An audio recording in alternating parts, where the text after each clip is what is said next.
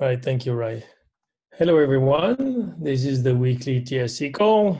It's a public call. Everybody is welcome to join and participate. However, there are two pieces of information you need to be aware of and take into account. The first one is currently displayed if you're online.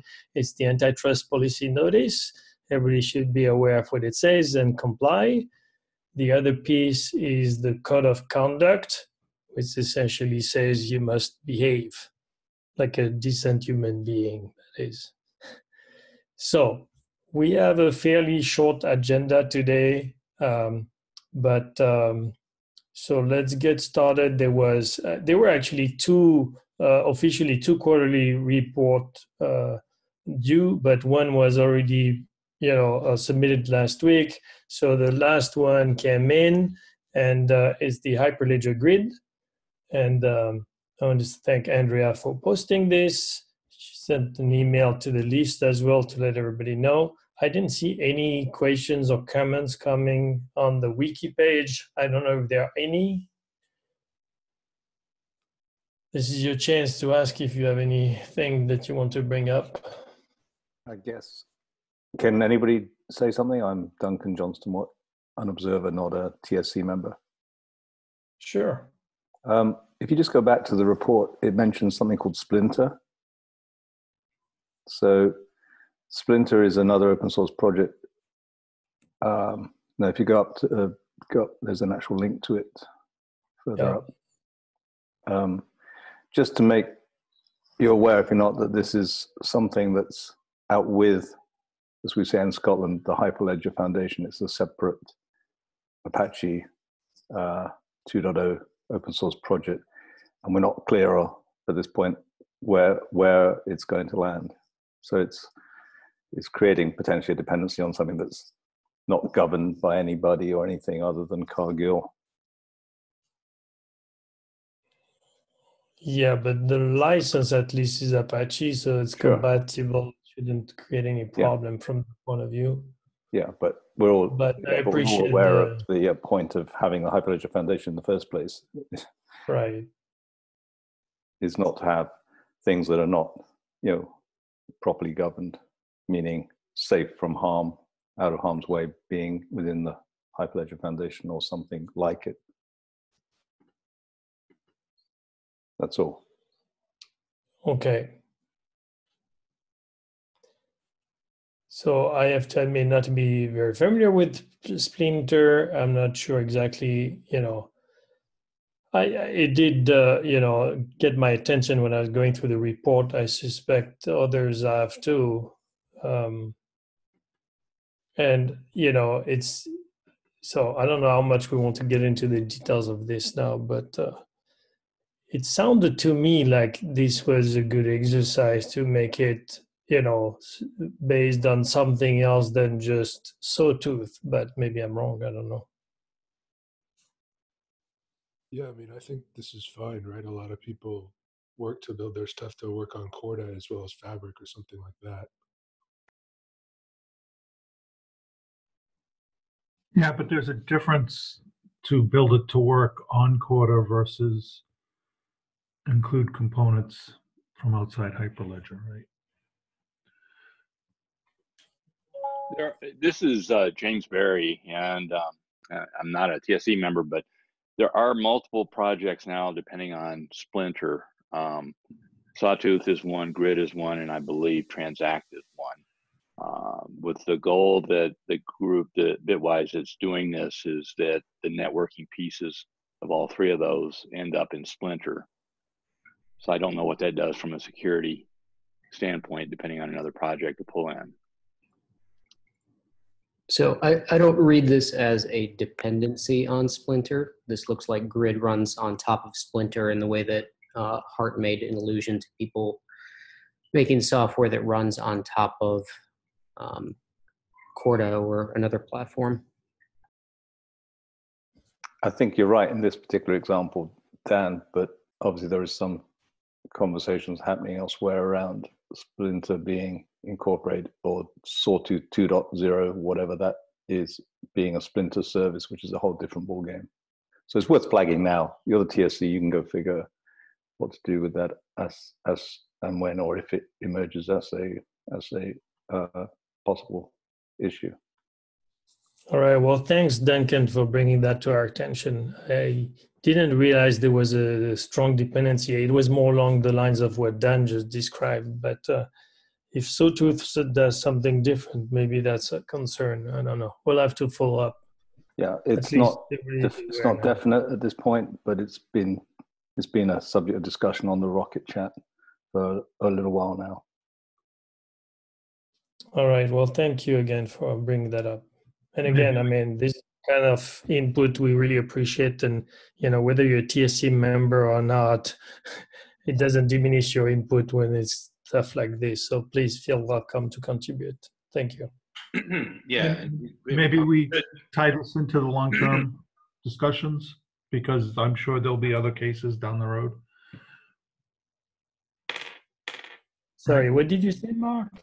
Do we tie this into the long-term strategy discussions coming up? Because we'll have issues like this down the road, I'm sure. You know, what, what guidelines would we have for bringing in things from outside? Yeah, I don't know that we understand enough the ramification of that one in particular yet, but uh, I, I take it from you that yeah, this is probably something we'll have to look into closer and could indeed uh, come up in the broader discussion on framing. All right, so with that being said, is there any other comments? See, it is useful to have these report, uh, reports and kind of go through them. We just learned something quite important. All right, if not, I think we can move on. So maybe before, and I'm going to insert, uh, there was, for those of you who didn't, who joined and overheard some discussion between Dave and Chris, maybe we can resume that very quickly. Dave, can, they were talking about, um, uh, you were talking about the security reporting policy and uh, I, if you could just an update as to where we are and what's going on, that would be welcome. Yeah, yeah. Um, so quickly, um, we have a security bug reporting policy that is called responsible disclosure. Um, the way we handle is responsible disclosure. That's an internet standard for the right way to do things. As a result, we have to have facilities for um, taking in security bug reports confidentially, keeping them confidential as we work with the teams to resolve them. And we also tend to include the person who reported the issue in the discussion, as well as any engineers that would be directly involved in fixing it. And then at the end, when we judge its severity, we decide whether we do a CVE, which is a formal declar- uh, disclosure of the security bug, um, or if we just do notices in release notes, right? Chris brought up the idea that GitHub has matured greatly over the last year in how it handles GitHub um, issues, including a new feature about secure uh, security policies, which actually is really neat in the sense that it allows us to create private branches. It allows us to pull in individuals who aren't normally part of the security team, um, but are essential to fixing a security bug. And it allows us to collaborate more easily on our response to any particular security issue. My initial response to Chris was I'm worried that security bugs would come in through the public GitHub issues and that maintainers and myself would have to sit on those and, and watch them constantly to make sure no security bugs land there, right? And moving, and if they do, moving them over as security issues immediately. But then I thought that was silly. Uh, we can set, we already have security policies, you know, security.md on all our files. Thanks, Ry. Ry to lead on that. And we can adjust that to make it very clear that if you have a bug um, that you think is security related, uh, just report it through the security mailing list and we'll take it from there. We already accept that as an accept as a, a good enough solution for security bug reporting. So I'm just announcing that I have no reservations about moving over to GitHub to handle this. and in many ways, we've had to make uh, hacks to Jira to support our the way we want to handle security bugs. Um, but GitHub does this natively, uh, the way we want it to work. So all my reservations are gone, and I'll just leave it up to the TSC to to discuss it. If you guys have any questions or would like to see us move to GitHub, I'm I'm all ears. I don't have any specific policy roadblocks anymore. All right, thank you, Dave.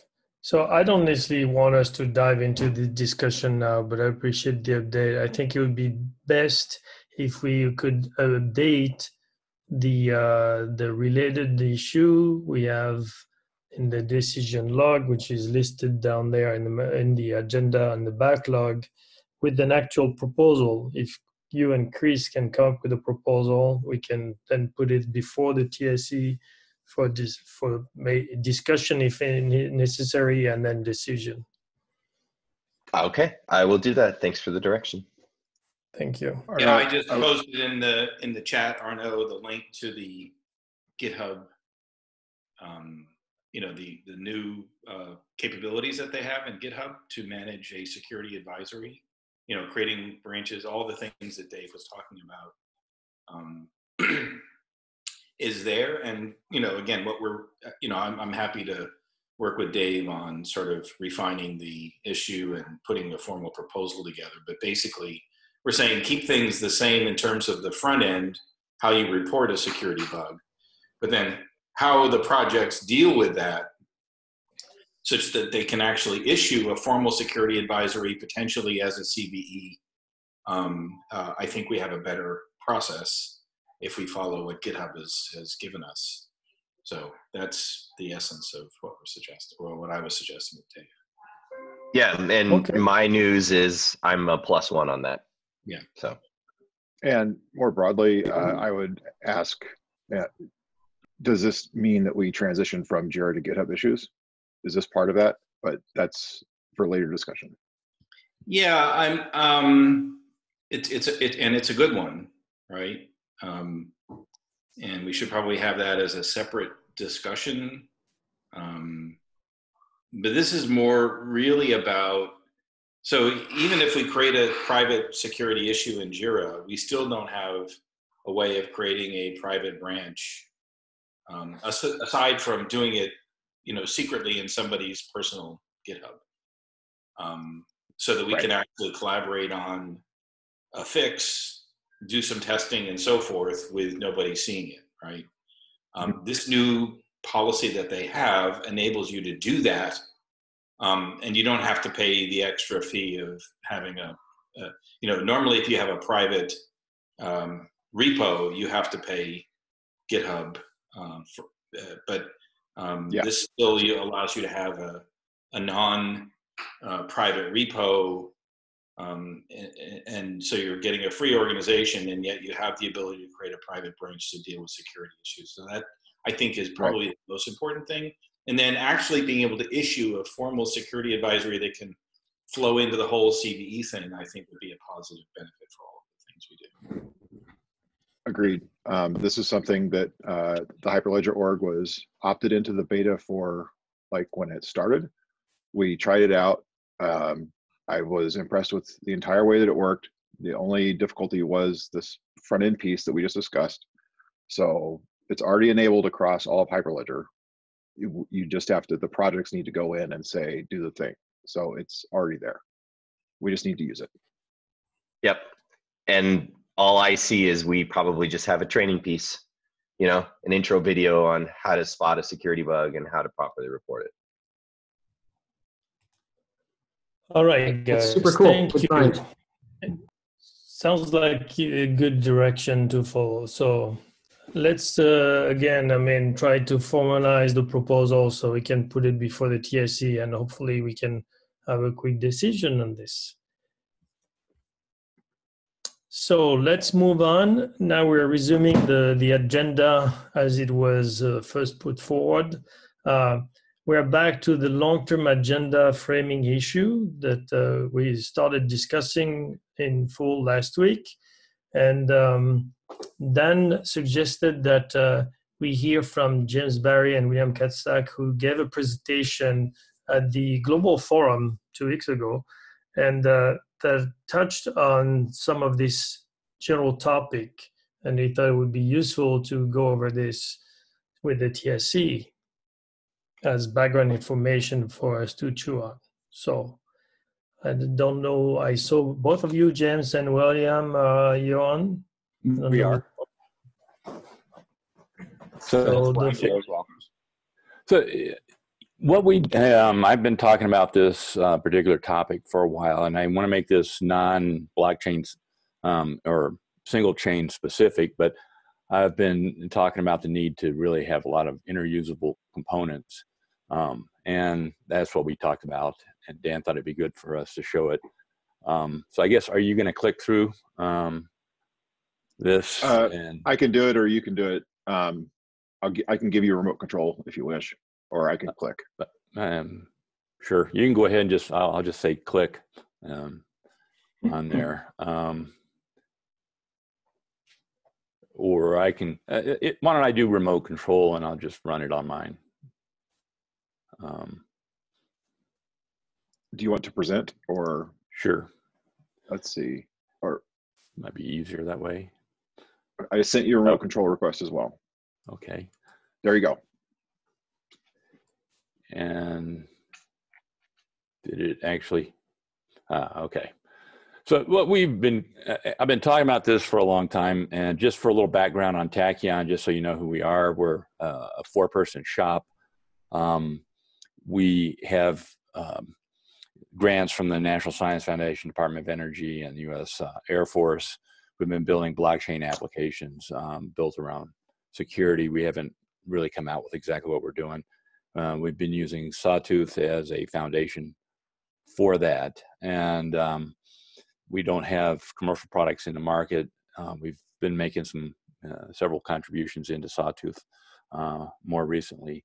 We started off on several other blockchains, um, including Fabric, and ended up on Sawtooth uh, roughly a year ago. Um, and over the course of the year, we've been looking at it as a, a piece of uh, how we want to um, take it forward as pieces. And basically, we're just going to talk today very quickly about is it monolithic programs or um, you have pieces that you can uh, adapt by putting them together to do the workload. And what would a Hyperledger stack um, look like today and tomorrow? We did this specifically for Hyperledger. Um, and how Tachyon is particularly using different projects to build our application as as that. Um, and um, you know what's missing from our perspective uh, from Hyperledger. So um, and so a couple things have come out is the meaning blockchain sometimes is meaningless because of the way that a lot of the uh, distributed ledgers are going. And is it really just a design pattern? A couple things that have come out that I think um, are interesting in, in, this perspective. And a lot of the blockchains that originally came out um, were very monolithic, um, needed to be blown up, um, and really, in our opinion, need to be put into parts that fit into the workload that, that you're trying to achieve. Um, and when I look back on this is, um, you know, standard software is an interface, logic, data interface, and, you know, a, a blockchain database. Or is it really needing to be decomposed? Microservices, very much um, microservices compo like components. Um, it's our opinion that blockchains will be assembled from the best of breed parts. And I go way back. I've been doing this for almost 40 years. Um, and I look back on where Netscape, AOL, Prodigy were all the, the, you had to be on one of those services. You had to use their email and they were very monolithic. And eventually the internet um, came along with HTTP and pieces started breaking apart and you ended up with Apache. And just for disclosure, I was uh, at, at, IBM at the time, and um, started a project called WebSphere. Um, was a, uh, that was my first project uh, that I ran there, and um, I also ran the open source pieces um, where I met Brian on um, writing Apache 2.0 license, among other things, with an IBM lawyer. And as we were doing that, if you look at Apache from 1997 versus Apache now, it's it's a ton of, of different pieces that you put together to build an application. And it's our feeling that um, you need to be able to configure by workload. You know, if you're on the way on the far right, you're running a public network, the cryptocurrency coins, you have high TPS, irrevocable transactions. You go to the left hand corner of this private company, you have a stringent consensus, but very low TPS, um, and a variety in between. So you can switch consensuses. Um, obviously, Fabric and um, Sawtooth both allow you to switch consensus depending on your needs, but they use different uh, constructs to do that, and you can't use those mechanisms. And that's one of the things we're going to talk through um, is setting it by workload. Um, so, and I kind of did a what about a Hyperledger stack? Um, you know, you've got core blockchains, you've got um, you've got um, pieces starting to break out with Transact with the smart contract interface. Um, you've got um, a pluggable consensus breaking out, pluggable encryption kind of under URSA, um, the off-chain TE compute, etc. But um, are they really something that you can take from, say, Fabric to Sawtooth, Iroha to Besu for, say, pluggable consensus? Um, even if I go out of Hyperledger and I go to Ethereum, uh, Ethereum for Business or Enterprise Ethereum, whatever it's called these days, is um, um, has a pluggable consensus. Fabric has a pluggable consensus. Sawtooth has a pluggable consensus, but they all use different constructs and ways to get there. Um, we think that long term you need to have something. I'm just concentrating on consensus right now um, of having some sort of construct that would allow you to use a um, independent uh, consensus mechanism and plug it into any chain. Um, we see this as something that um, needs to be built out uh, further. And these applications um, that are starting to emerge, like Transact Ursa, um, I don't have grid on there. Uh, there's grid um, can be built with components as opposed to built with on top of a particular uh, chain from the beginning. And so we started looking at what components are needed, taking the Hyperledger view of it and saying what else could be built out, starting with block storage. Uh, is there a reason that everybody uses a different way to do block storage within a blockchain? Uh, network and, and, connection management layer. I mentioned that um, seems to be on the roadmap for Sawtooth um, 2.0 um, vis-a-vis Splinter. Um, appears to be where that's being developed out today. Um, you know, is there an operational dashboard that works across um, applications?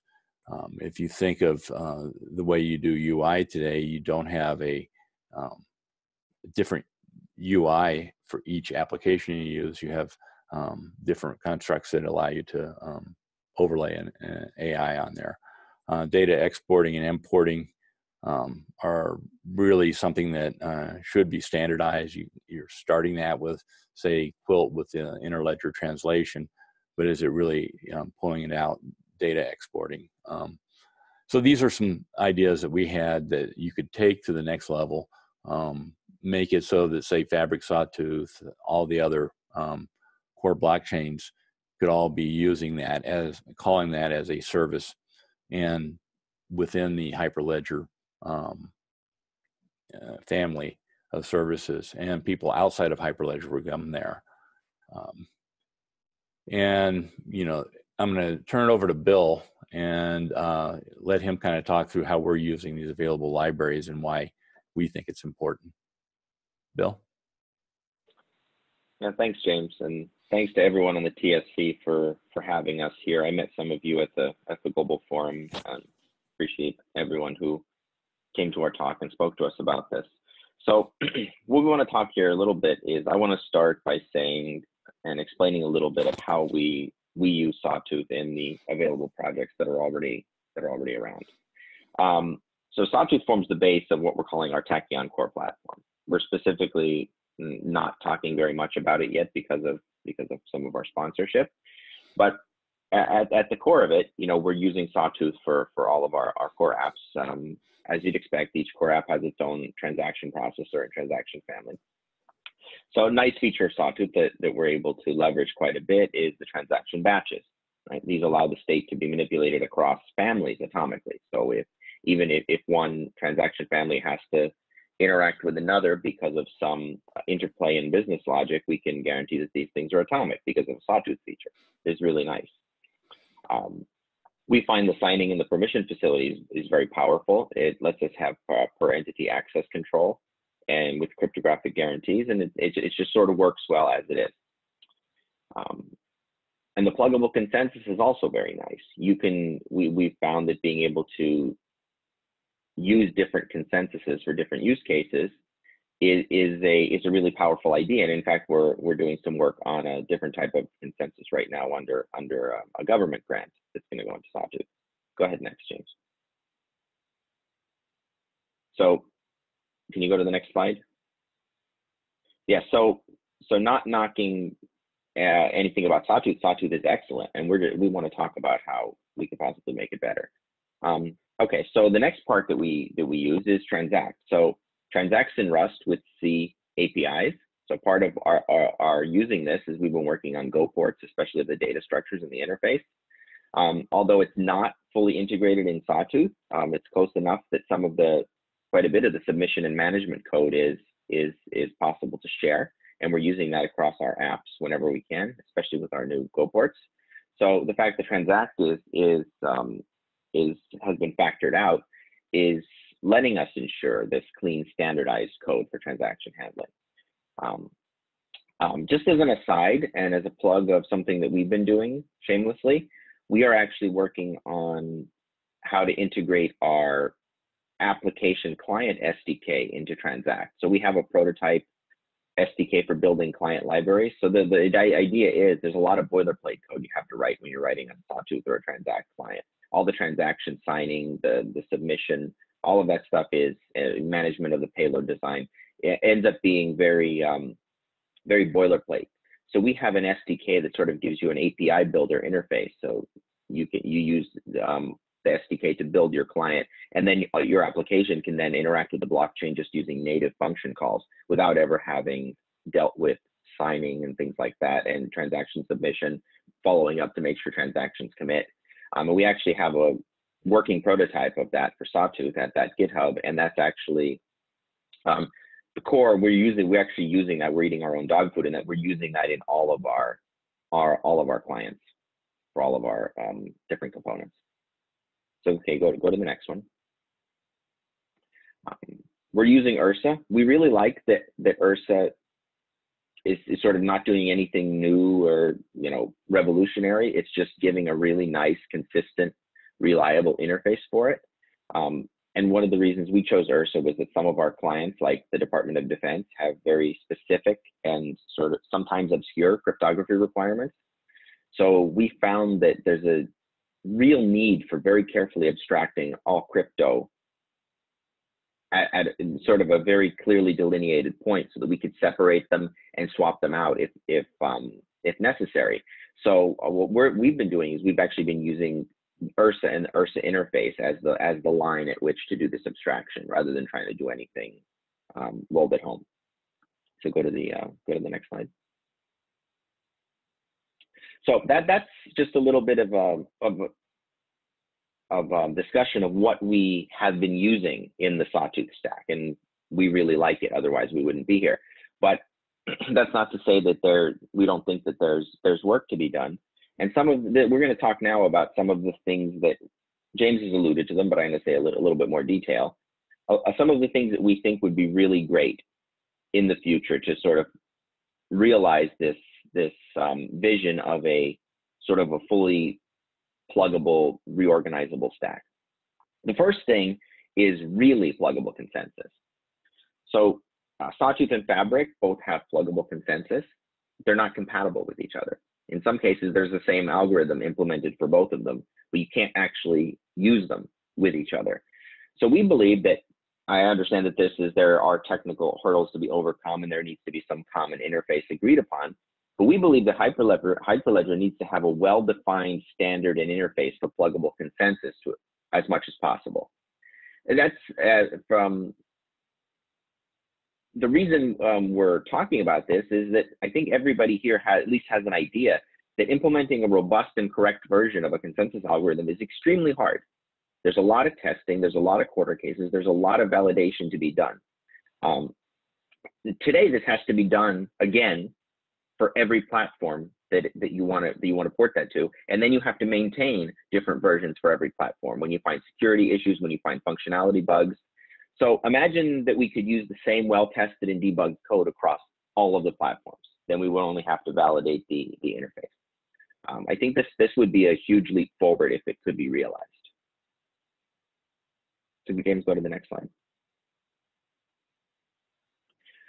Um, the second, and I think this is actually starting to be done. Maybe maybe we actually did make the right call in in uh, in in trying to propose this. Is that um, it would be nice to have a common networking and connection management library or component. So what I mean by that is, um, for example, Sawtooth uses uh, 0MQ or ZMQ sockets.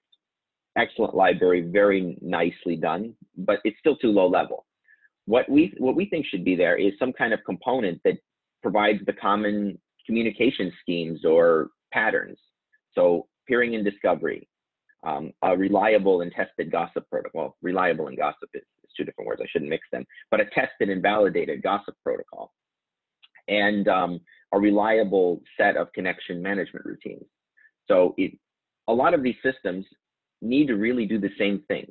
They they pick a pick a, a, communications pattern, they pick a sort of a technique for distributing data, and then they just implement that pattern. It would be great if we had a library that sort of implemented all of these common patterns, maybe make it extensible so that if you need to extend something or modify something, you can for your specific application. But the core of this would be tested, integrated, um, and pretty much ready to go for whichever component you want to build or whichever type of system you want to build. Okay, go ahead, James. Um, the next thing that, um, this is something that we we've just started working on internally. We're not sure if our internal version is going to be something that will be of interest to the community, but um, currently, part of the assumption with blockchains is that there's a replica of every block on every node. This has been sort of the the one of one of the key or central assumptions of a distributed ledger up until this point. But what we're finding as we're as we're talking to clients, as we're talking to people who, who want to use blockchains, is that not all use cases really need this. Um, so we believe that block storage should be an abstraction. That is, you can have validation and consensus on a larger scale. You can have things distributed over regions, distributed around the world. You can have a lot of actors in terms of validation and, and consensus handling, but decouple the block storage from that so that not every actor at the validation and consensus level needs to have a copy of every block. So if this was abstracted correctly, and Um, know, so when I say correctly, I mean sort of, I want to say elegantly, if this was elegantly abstracted, this would allow for custom storage and replication strategies. So for example, if you have a, if you have a system that for business reasons, you maybe want 12 participants in consensus, but maybe you really only need three copies of every block. Maybe you could build something that has a, a custom storage and replication strategy. And this, this would also open the door to a little bit sort of wilder things like, um, I don't know, using uh, S3 to hold your blocks, maybe something fancy like like an erasure coding type system. Um, so uh, the, the point here is that it would be nice to actually have this as a separate layer as much as possible from the validation and the consensus. Um, and I think it would it would both um, make things more understandable between different between different implements, different blockchains, sort of different systems, and it would also allow this flexibility in terms of client or use case needs. Go ahead. Um, this last one, it seems that um, this, so we presented this, but it seems that the, the world has been moving and this has been getting done anyway, is uh, key storage. So key storage, there's lots of solutions to this, but there, there has been no Hyperledger standard. It seems that at the Global Forum, I became aware that one is in the works. Um, I forget which project it's, it's supposed to be going into. Um, this was really important to solve for the Department of Defense clients, and we had to we had to figure something out. So we used something off the shelf, but integrated it. Um, so we think this could be standalone or integrated with URSA, but again, I, I forget the name of the project that is proposing a, a key storage standard right now. So this may be already a moot point. Um, data exporting. So uh, there's a few apps in particular, the um, the Sawtooth supply chain example and a few other ones uh, that find it useful to keep an image or a sort of a synchronization of the current blockchain state in a DBMS or something else. Um, and then this sort of facilitates complex queries and feeding that data into other systems. Sawtooth provides this um, the state delta API, which is very powerful. It works well over either 0MQ or REST. Um, something like this, we think ought to be standardized. And obviously, there's different data models with different chains and systems. But this this sort of the API itself, sort of the enclosing infrastructure, should be standardized so that um, the apps which need to receive state from a blockchain shouldn't have to reinvent the wheel and, and implement a different tie every time you you want to connect to a different type of system. Okay. So James, go ahead. Yeah, so you know, why not uh, the crypto community approach um, when you have layer two, layer three side chains, state channels, etc. the problem that's emerged is these are different companies, and you have different people controlling the data from point to point. And I see this very similar to what happened on web services. Um, when uh, you were trying to get different companies to own the different web services and connect um, in and, and, have a standard that allowed you to research, find, and connect it in.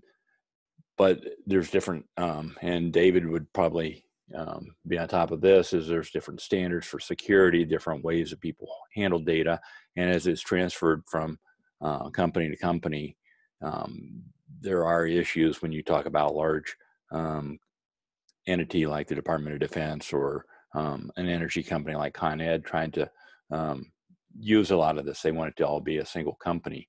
So if you really look at it, um, what people are doing is going into Apache and then building out projects from there.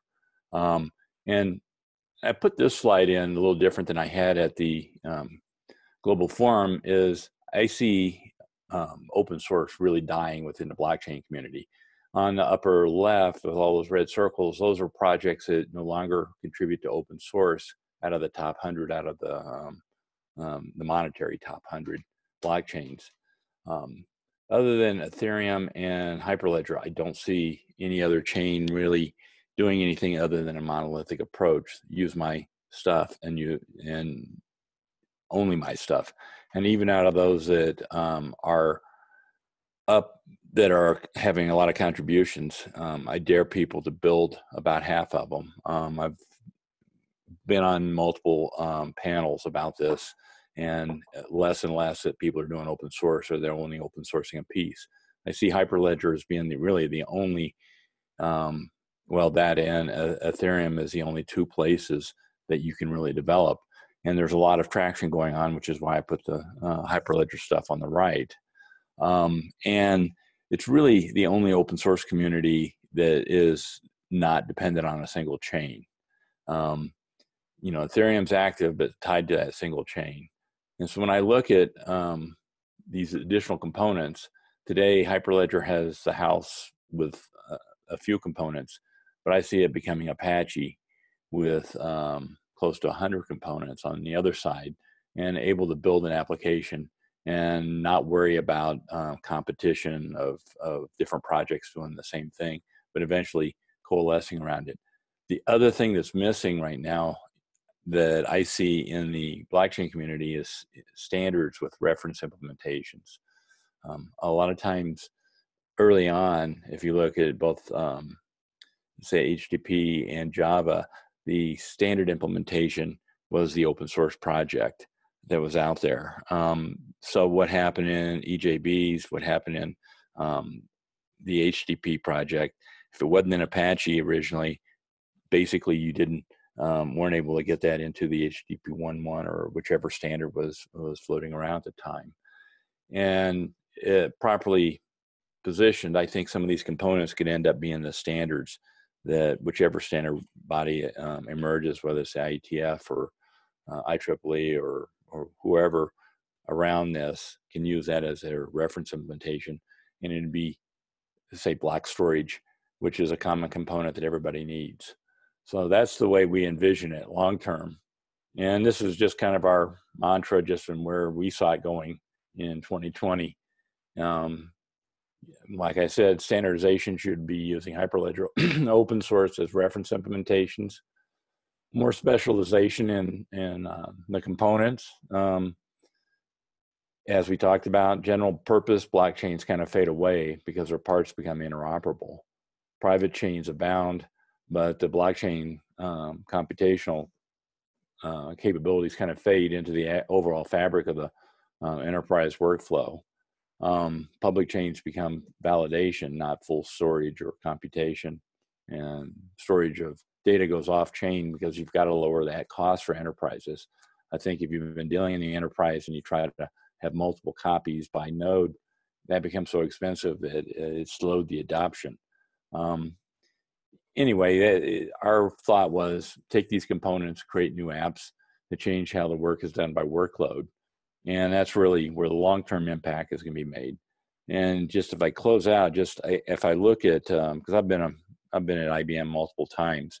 IBM itself, if you go to the consulting group, they look at what blockchain do we want to use depending on the workload and what they're trying to accomplish. So the consulting group within IBM has actually built out um, at least seven different chains from the people I know there. Um, and they haven't you know focused on a single chain. They focused on multiple chains, um, and they're on multiple boards of of these um, blockchain companies, and that's as a result of needing to have something different for different workload. Wouldn't it be better if it was assembled by components, components that then come together to build out the final application. So we wanted to thank you for your time on this. Hopefully this was uh, something that can provoke a little conversation. Yeah, absolutely. Thank you, James and Bill. I mean, this is very interesting. Uh, let me uh, let's go through a couple of rounds. First, I would like to ask if there's anybody who has any like clarification question kind of things for James and and Bill we could do that first and then we can do another round where you know if people have reactions we can start a discussion. So first any questions? Sure i had a question on the block storage. Um, would you envision that each participant if you if you had the abstraction layer each participant hosting block storage could use a different type of block storage underneath correct um, well, each, yeah, yeah uh, I'm not sure uh, that would be a policy decision, right? Theoretically, each participant could use a different type of block storage, and as long as you have hashes and things like that of the blocks, it shouldn't matter. Um, I, I wasn't thinking about it in terms of this perspective. I was thinking that you know across your system, you'd probably use the same the same thing.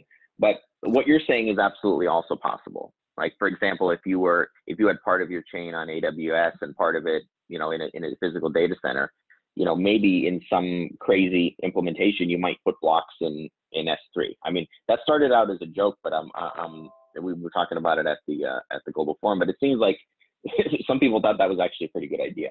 Um, but you, you, yeah, I could see you using a different thing. But the original thought was, you know, maybe make it more like um, you could envision sort of like a distributed hash table type of implementation on on top of your blockchain. Whereas the node that ends up choosing or the, the node that ends up being authoritative for storage of a certain certain block or that set of nodes might be chosen by a by a hash table a la cassandra if anybody's familiar with that. That was sort of the original inspiration for this idea but i think making it flexible would be would be a very interesting thing to do All right, thank you. Any other questions? Okay, if there are no questions, then I'm inviting TSC members to react. Any comments or reactions to either a specific point that was presented or the general gist of it?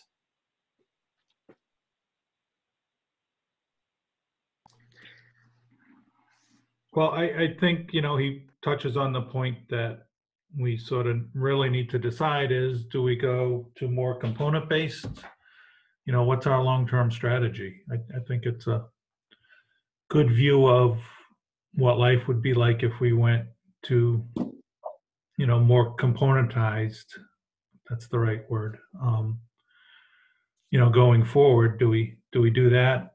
Um, you know, do we make sure when we break components out, they're easy for everyone to integrate? So I think we'd need to go through and probably, you know, define some standard uh, interfaces, things like that for different levels. So that, you know, there'll be a lot of work there, but it could conceivably be well worth it for the long term.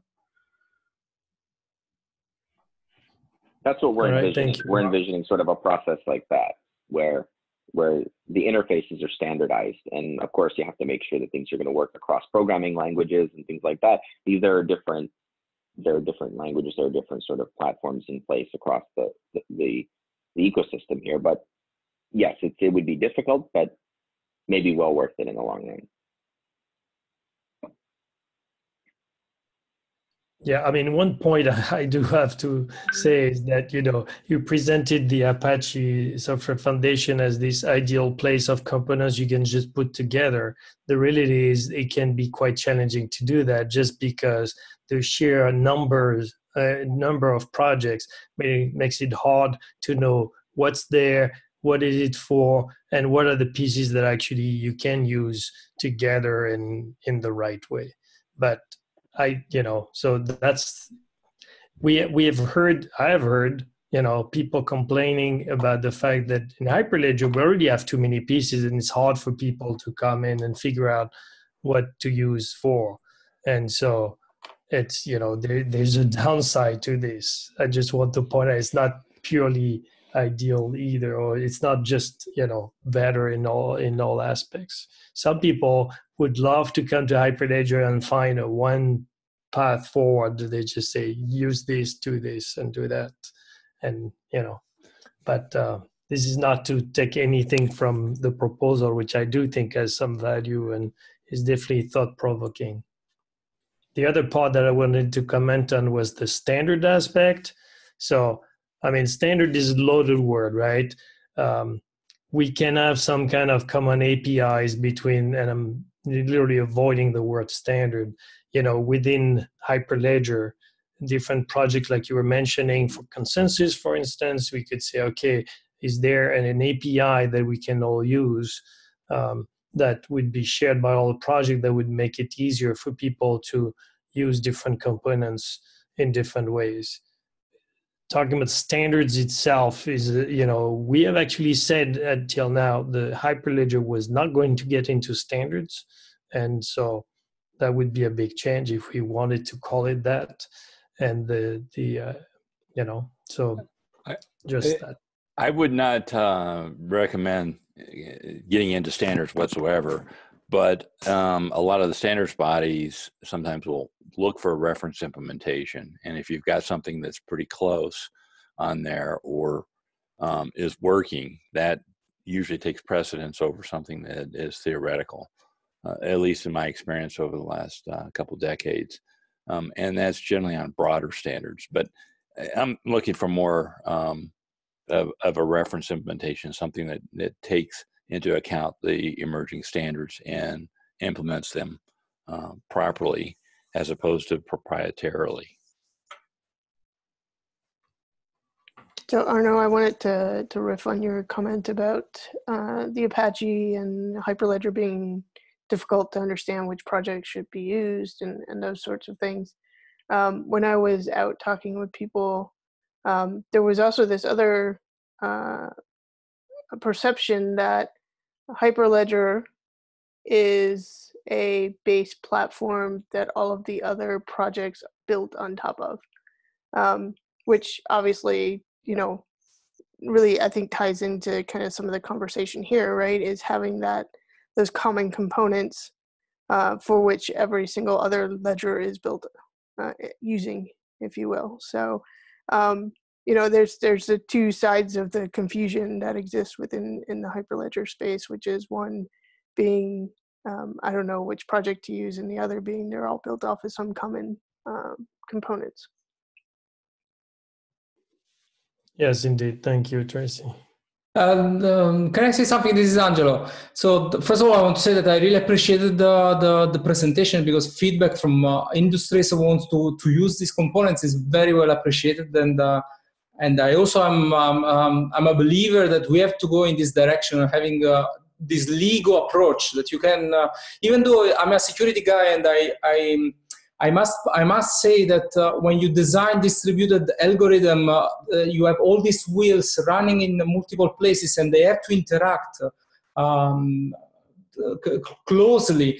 Um, that is very difficult. It's it's very difficult to get this uh, this Lego approach. But something that I I, um, I got during this presentation was when you you stressed about the pluggability of the consensus algorithm. Uh, I was thinking it makes sense to have a um, to have definition of ordering as a service. So you don't you want to externalize. Uh, you might want to externalize completely the ordering service, uh, and then maybe even potentially buy it from uh, from a from a third party.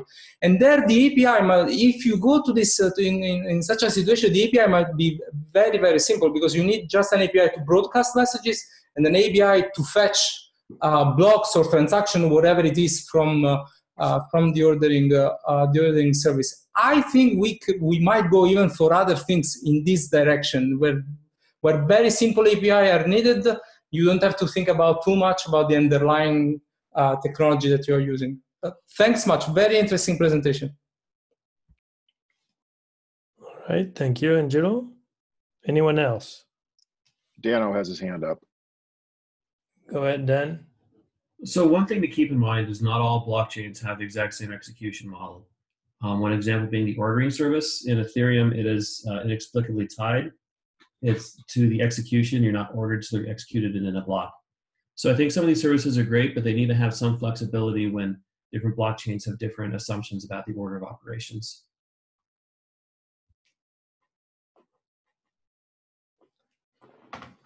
All right, thank you. Oh, may I add? Sorry, Arnaud, may I add on this because that's is very interesting. This, Go ahead. This uh, this point because I that, that's thing of tightening. Uh, uh, I think there was also in the slide in the, this point for the public chain that are mostly used for verification. Um, so it, it's very expensive to have the the main chain computing something so and for enterprise application this is even worse because if you if you ask the entire network to compute something so you replicate the computation on each node this is just a waste of uh, resources that you don't want in enterprise application. So maybe seems to me that the, the, the, the approach that you have for execution and ordering execution together for enterprise application, it's not really flying. But that might be just my, my personal uh, taste.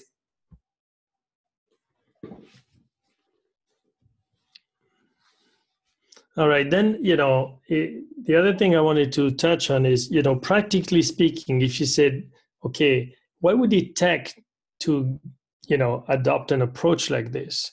Obviously, you know, coming up with those common slash standards APIs requires, you know, people from the different projects to buy into it, right? And get together, sit down on a case by case basis for each API. You would have to have some kind of task force where people get together and say, okay, how do we do like a consensus API?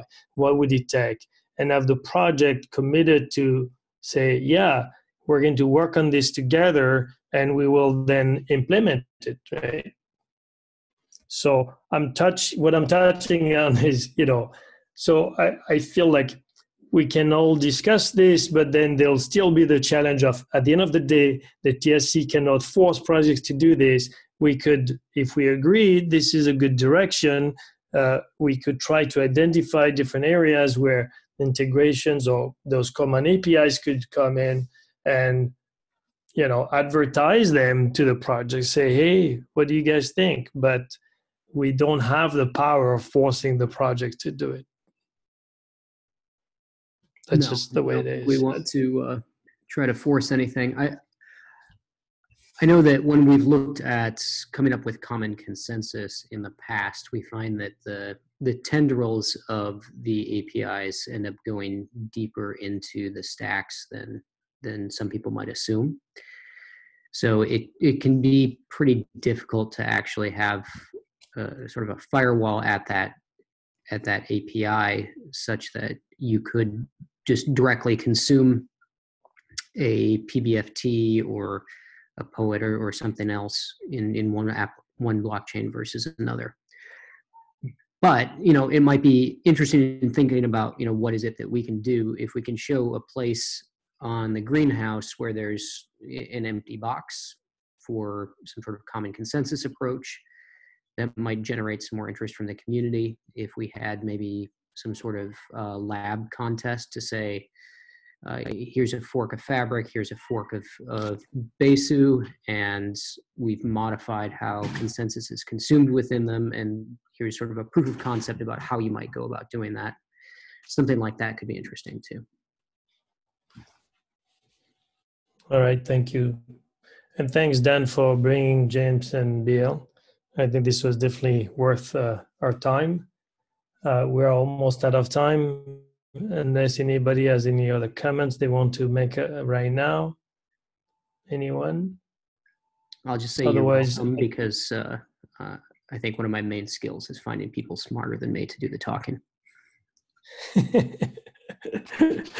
All right, sounds good. But so you know, I have a hard stop, so I'm uh, interested in closing soon, and uh, I think you know this is worth uh, thinking about. So I'm happy to leave it at this for now, and then we can follow up next week uh, and see, you know, if there's any further reactions or thoughts that people have. How we could, you know, practically speaking, what could we do next? That would be a concrete step we can take as the TSC. All right. So with that said, and then I'm going to close the call.